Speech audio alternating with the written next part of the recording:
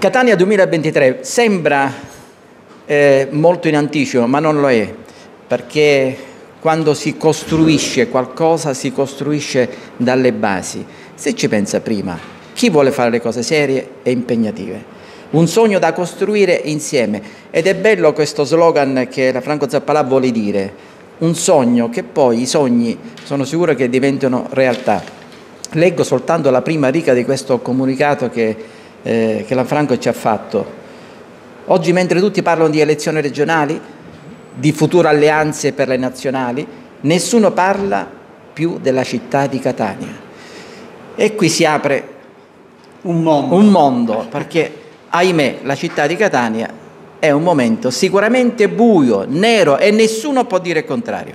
Lanfranco da sempre si dedica alla politica, dai quartieri ovviamente, poi si è ramificato al comune di Catania. Com'è la visione tua personale da cittadino di questa Catania che attualmente trovi? È la visione che vedono tutti, una città completamente abbandonata, una città che ha perso la sua entità, una città che ha perso i suoi valori e soprattutto una città oggi in ginocchio. Hai detto bene quando io ho scritto quelle due fasi, cioè il momento in cui tutti parlano di elezioni regionali, di elezioni nazionali, nessuno parla più della città di Catania. Dico al di là delle dimissioni del sindaco, se si dimetterà o se non si dimetterà, questo oggi poco importa. La città di Catania andrà a votare nel 2023 e nel 2023 bisogna iniziare a pensare oggi a quello che io chiamo campagna di ascolto. Allora dico, a differenza della politica che si è sempre fatta, quando i partiti o i programmi si sono presentati un mese prima delle elezioni. Io voglio fare una cosa diversa, voglio aprire un linguaggio diverso con la cittadinanza, una cittadinanza che è sempre più lontana dalla politica. Hai detto bene, tanti anni in Consiglio Comunale, ma in questo Consiglio Comunale non ho visto più la partecipazione di tanta gente all'attività politica della città. Allora io dico questo, ci candidiamo, mi candido, nel, oggi a distanza di un anno, un anno di lavoro con un programma condiviso con la cittadinanza, sentendo settore per settore, imprenditori per imprenditori, giovani, donne, anziani, tutti elaborando un progetto per Catania. Per questo ho detto un sogno da costruire insieme, perché credo che insieme possiamo elaborare un programma. Spesso capita che quando si presenta un programma si presenta all'ultimo momento e tutto ciò che è scritto non viene mai realizzato. Basta guardare il programma di questa ultima amministrazione. Io invece voglio fare una cosa diversa, partire un anno prima, parlare con la cittadinanza, coinvolgere la cittadinanza all'attività politica e dire guardate oggi abbiamo scritto tutti, al di là dei partiti, e sono aperto a tutti i partiti. Appena ho questo programma collaborato con la cittadinanza, andrò io personalmente nei partiti e dire questo è il programma, lo volete condividere, lo volete sposare, benissimo, posso essere solo contento, solo così ognuno può assumersi la responsabilità. Se non lo accetteranno andrò comunque avanti ugualmente da solo, perché credo che dopo tanti anni bisogna metterci la faccia e anche avere il coraggio di poter fare le cose. La figura di, del sindaco Salvo Pogliese eh, il comportamento, ehm, il movimento che lui sta, eh, si, sta, eh, si, è messo, ovviamente è stato messo da parte, eccetera. Qual è il, il tuo pensiero? Cosa vorresti dire eh, a Pogliese, al sindaco, eh, momentaneamente sospeso? Cosa vorresti dire? più che al sindaco all'amico Pogliese, perché non posso dire che insomma, da ragazzi ci conosciamo, anche se su fronti diversi abbiamo fatto politica anche all'università insieme Dico che mi dispiace che noi quando dicevamo che c'era il rischio che questa città potesse essere messa allo sbando, soprattutto c'era questo rischio di questa sua pendenza, ahimè lo dicevamo a fin di bene, perché oggi avere una città senza un sindaco francamente non è, non è una cosa bella politicamente. Quindi da un punto di vista umano gli sono estremamente vicino e spero che lui possa risolversi questi problemi. Da un punto di vista politico devo purtroppo ahimè dire che non sono d'accordo perché eh, 14 mesi e tutto quello che c'è stato, una città nelle mani di nessuno, certamente la cosa più giusta è secondo me lasciare in questo momento la città, tornare al voto anche perché il Consiglio non cadrebbe, cadrebbe solamente la Giunta.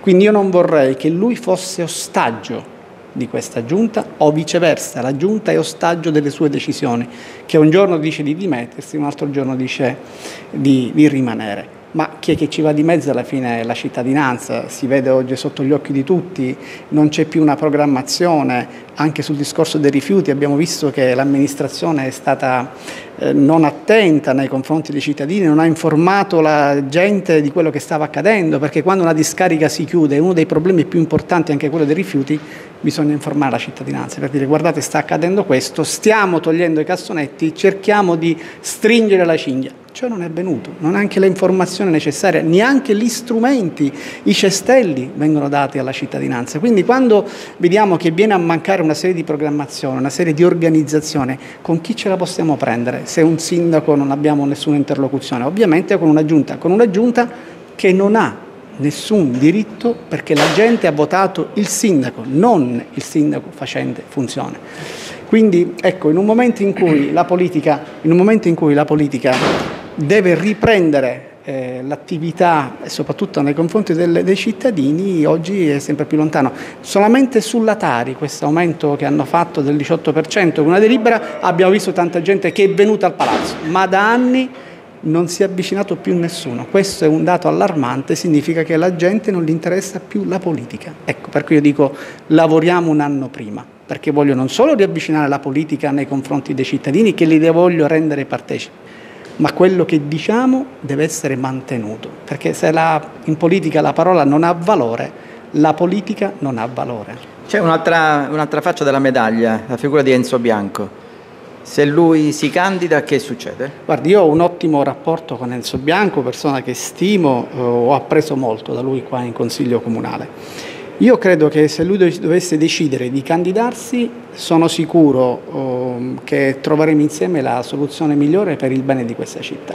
Quindi io intanto sto partendo avanti, eh, sto elaborando questo progetto con eh, tutti quelli che, anche chi non ha mai fatto politica, oggi si vuole avvicinare in questo progetto. Catania 2023 un sogno da costruire insieme, ma soprattutto un programma da elaborare, da condividere, un programma di ascolto che secondo me deve entrare nel cuore della gente. Per chiudere, gli ultimi 30 secondi per la città di Catania, il tuo messaggio. Allora, per la città di Catania noi dobbiamo eh, riaccendere un faro ad una città spenta. Dobbiamo avere la consapevolezza eh, di, non, di, di, avere l'orgoglio di sentirci catanesi, una città bella, caotica, ma estremamente eh, delicata, dove ognuno di noi con il, il proprio lavoro deve cercare di portare questa città ai margini non di quello che viene spesso segnalato nei giornali come la penultima città di vivibilità, ma al contrario, cercare di rialzare la testa, di fare risplendere questa città, di fare tornare il sorriso e di illuminare una città purtroppo che sta andando sempre più nel profondo baratro. Quello che posso augurarmi, posso augurarmi che, o meglio, quello che vorrei eh, eh, che si lanciasse come messaggio a chi vuole intraprendere anche un eh, programma elaborato avvicinatevi. E, ehm, a volte il politico viene visto come una persona lontana. Io sono uno che sta sempre in mezzo alla strada, parlo con la gente, sono sempre me stesso. Cerchiamo di tutti insieme di elaborare questo progetto. Poi ovviamente eh, chi vuole sposare questa idea gli posso essere solamente ben lieto e ben contento. Dopodiché le battaglie sono battaglie e io non mi sono mai tirato indietro. Eh, il coraggio l'ho avuto sempre e continuerò sempre a essere me stesso. Un sogno da costruire insieme, tu credi ancora ai sogni? Se i sogni si realizzano, guarda, se dovessi dire che tanti anni fa ehm, non ho pensato di metterci la faccia in prima persona, però ci ho pensato. Se questo pensare è un sogno, allora dico che a volte si possono anche realizzare, poi ovviamente devono essere portati a termine.